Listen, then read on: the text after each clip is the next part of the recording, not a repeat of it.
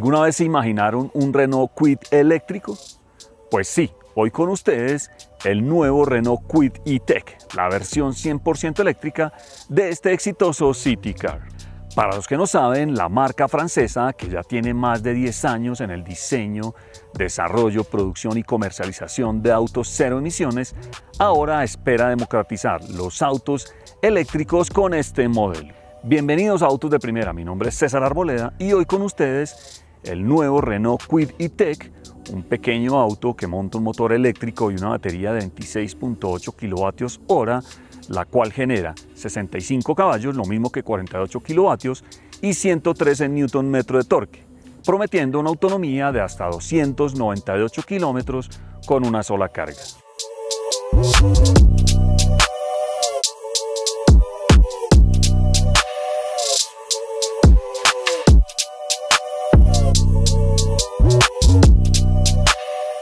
Hablando inicialmente del diseño, seguramente ustedes ya han visto un Renault Kwid en la calle y esta versión eléctrica pues es muy similar al modelo que ya conocemos, con una figura muy llamativa que hace que se diferencie de los demás City Cars o autos eléctricos de entrada. De hecho, lo que busca Renault con este modelo es democratizar los autos eléctricos en nuestro país, con un auto que ofrece una buena autonomía a un precio asequible. En el frente, el Quiditech se destaca por las luces DRL en LED, que son estas, que están en la parte superior, esas son las luces día, y las principales que están en la parte de abajo. Pero para que identifiquen esta versión eléctrica, ya no cuenta con la parrilla, sino que ahora es una pieza en negro brillante, con unos acabados cromados, y en el emblema de Renault, ahí vamos a encontrar el puerto de carga. Para poder abrirlo, tenemos que ingresar al auto, y desde aquí ya abrimos el lugar donde vamos a poder conectarlo a cargar. Este cargador es tipo 2 o combo CCS2, el de la parte superior es para la carga lenta y el de abajo para la carga rápida. Lateralmente es el mismo Quid que ya conocemos, solo que esta versión eléctrica la vamos a identificar por el sticker de la parte de abajo que cuenta con el emblema de E-Tech. Además, esta versión trae los espejos en negro brillante y barras de techo. Y un dato para que tengan en cuenta es que el Quid eléctrico cuenta con rines de acero de cuatro pernos, con tapas muy bonitas, realmente no parece que fueran tapacubos, con llantas en medidas 175-70-14, ofreciendo una altura al piso de 16,6 centímetros. Los frenos son de disco en la parte delantera y de tambor atrás. Y pasando la parte posterior, los stops cuentan con tecnología LED iguales a la versión a combustión y para que lo identifiquen fácilmente en la mitad está el emblema de Renault y Quid y en el centro se encuentra la cámara de reversa. Adicionalmente la marca incluyó un pequeño sticker con la palabra E-Tech Electric en el costado inferior derecho. Y más abajo se encuentra un pequeño botón para poder abrir la puerta del maletero o el baúl, el cual es de 290 litros de capacidad, pero realmente no está mal teniendo en cuenta que es un pequeño City Car y podemos ampliar el espacio hasta 1100 litros si plegamos la silla trasera en una sola pieza. Ahora, debajo del piso del baúl se encuentra la llanta de repuesto que es del mismo tamaño de las que usa el auto.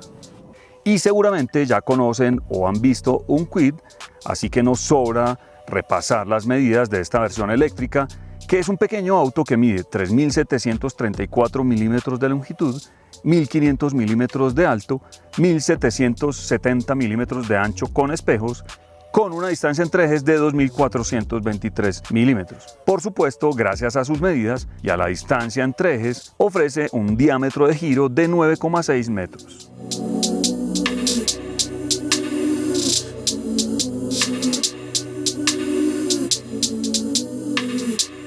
Pasando a conocer el interior del Quid E-Tech, pues es muy similar al de su hermano a combustión, conservando los plásticos duros por todo el interior del carro con texturas, digamos, acordes a su perfil. Recuerden que el Quid pues es un vehículo de low cost en fabricación, pero me gustó que cuenta con algunos acabados como estas piezas grises o el negro piano en la consola. Personalmente me gustó el diseño de las sillas, incluso el cabecero va pegado, además vienen forradas en tela, pero que denotan una buena calidad de fabricación y durabilidad. Además me gustó este acabado en crema en los bordes. Con respecto al volante, pues obviamente es de plástico, a diferencia de su hermano al combustión, este cuenta con cuatro radios y no podemos ajustarlo ni en altura ni en profundidad. Para ello, pues debemos ajustar la silla para lograr una buena postura. También cuenta además con botones para gestionar el control de crucero, que es con limitador de velocidad, pero ese botón se debe activar desde este lugar. Y del lado derecho cuenta con un pequeño botón que se llama Push to Talk para gestionar los comandos de voz por medio del celular. Detrás del volante se encuentra el cuadro de instrumentos totalmente digital, el cual combina una pequeña pantalla en el centro donde vemos la velocidad y toda la información de viaje. Y en los lados están los medidores para ver la gestión de la potencia, mirar qué carga tenemos, si estamos en eco o estamos usando mucha potencia. Y del lado derecho podemos ver la carga que tenemos actualmente en el auto. Pasando a la consola central, el QuidiTech cuenta con una pantalla de 7 pulgadas para el sistema de infoentretenimiento llamado Media Evolution, el cual cuenta con conectividad con Apple CarPlay y Android Auto. Además cuenta con botones exteriores para prenderla y apagarla. Y de este lado podemos subir y bajar el volumen. Aquí se encuentra el único puerto USB que es tipo A y un puerto auxiliar. Más abajo se encuentran una serie de botones que son muy importantes. Miren, estos laterales son para subir y bajar las ventanas delanteras. Este es para el bloqueo, las estacionarias y un botón eco que más adelante les voy a explicar cómo funciona. En este lugar se encuentran las perillas para gestionar el aire acondicionado y en este lugar pues hay un buen espacio donde podemos llevar el celular, el botón para el control de crucero que les conté anteriormente. Este es para apagar el control de tracción, ese siempre debe estar encendido y una toma de 12 voltios. Y al ser un City Car, pues no cuenta con apoyabrazos aquí en el centro. Eso sí, cuenta con un espacio donde podemos llevar la billetera, monedas, en fin. En las puertas hay buen espacio para llevar botellas o algunas otras cosas. Pero lo que más me gustó es que la guantera del frente es gigante.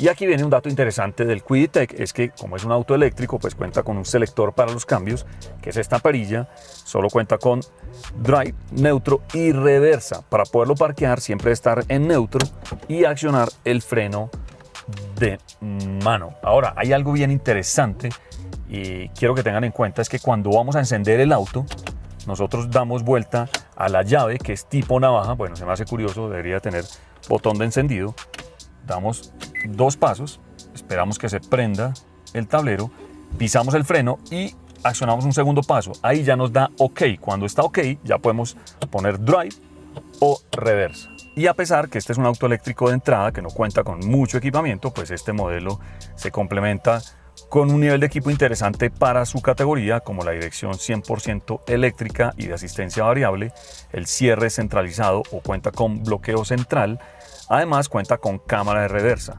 ajuste manual de los faros y ajuste eléctrico de los espejos retrovisores.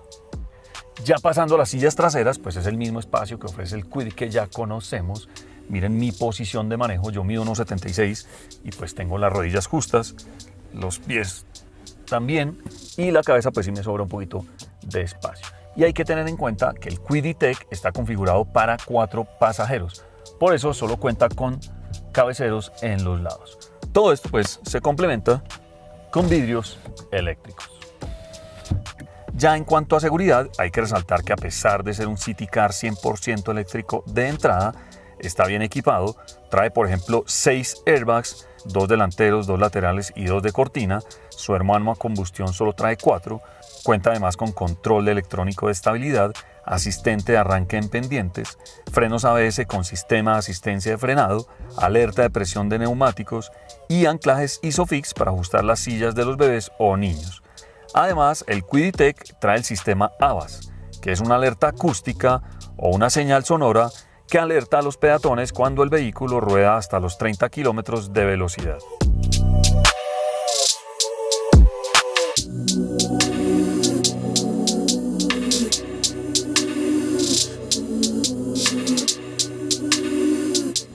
Ahora les voy a hablar del tren motor, ya que debajo del capó el Quiditech equipa un motor eléctrico síncrono de imanes permanentes el cual desarrolla 65 caballos, lo mismo que 48 kilovatios, y un torque de 113 Nm, el cual es alimentado por una batería de 26,8 kilovatios hora de capacidad, prometiendo una autonomía de hasta 298 kilómetros con una sola carga.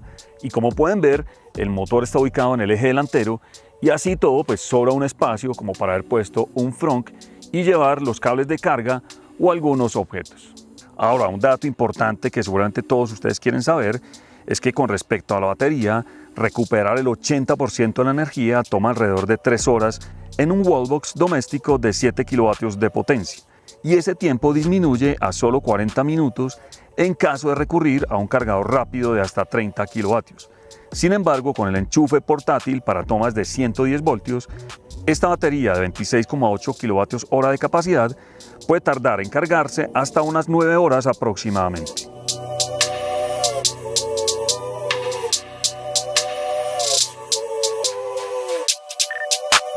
Ahora les voy a hablar de los principales detalles de su manejo y desempeño. Lo primero es mostrarles la aceleración. Suelto. Pueden ver, yo voy en 50 kilómetros por hora, que solo tarda 4.1 segundos. Allá voy en 100. En modo normal, el carro puede llegar hasta 130 kilómetros por hora de velocidad máxima. Y si yo lo conduzco en modo eco, la velocidad máxima se reduce a 100 kilómetros por hora. Ahora, en modo eco también es importante contarles que eh, eso mejora la eficiencia de la batería, incluso hasta un 9% asegura la marca. Además de la frenada regenerativa, porque como buen vehículo eléctrico, pues con las frenadas, miren ahí en el tablero, podemos ver que se va regenerando. Eso hace que podamos prolongar el uso y la eficiencia de la batería.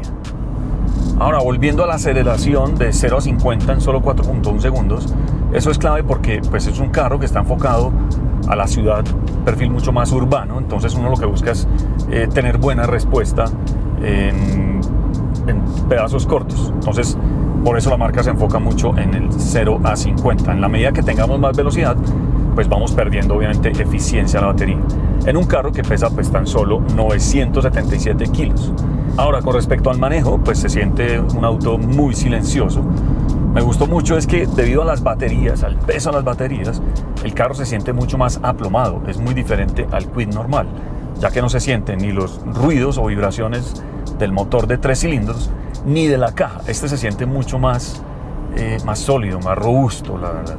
Y un detalle que me pareció muy interesante es que hoy en día que tenemos eh, velocidades limitadas a 50 kilómetros dentro de la ciudad, pues podemos usar el control de crucero con limitador que se activa desde este botón. Miren, ahí yo lo activo y aquí yo puedo regular la velocidad. Entonces, por ejemplo, ahí le pongo 50 y por más de que yo acelere, el carro no pasa de 50 kilómetros. Eso es bien clave.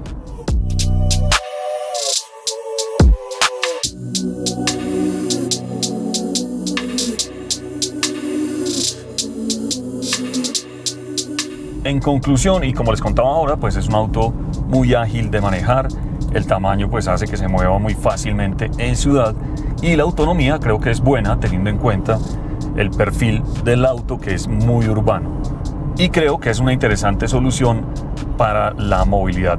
Ahora hay que resaltar que la marca reforzó la estructura para esta versión 100% eléctrica y le incorporó una suspensión pues más robusta, así como ruedas más grandes y unos frenos mejorados. Recuerden que son discos adelante y tambor atrás.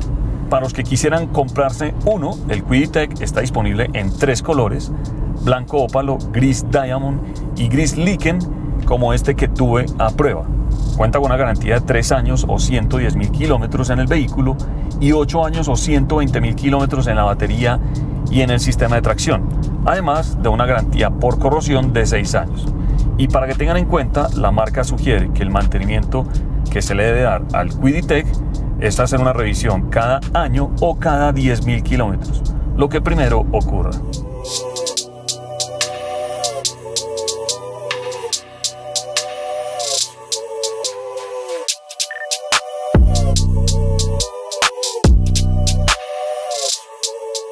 Con un precio de lanzamiento de 99 millones 990 mil pesos a la hora de publicar este video, el nuevo Renault Kwid E-Tech promete convertirse en un superventas en el segmento de los autos eléctricos de entrada. Un modelo que promete una buena autonomía teniendo en cuenta el perfil urbano y que se suma al amplio portafolio de autos eléctricos que tiene Renault en nuestro país, como el Twizy, el Zoe E-Tech, el Kangoo E-Tech, la Master E-Tech y próximamente el Megane E-Tech. ¿Qué les parece? ¿Les gustó el nuevo Renault Kwid eléctrico o prefieren otro auto eléctrico por su precio? Como siempre, déjame tus preguntas o comentarios al finalizar el video y por supuesto no olviden suscribirse a nuestro canal, darle like y compartir nuestros contenidos para seguir haciendo videos como este. Nos vemos en un próximo video.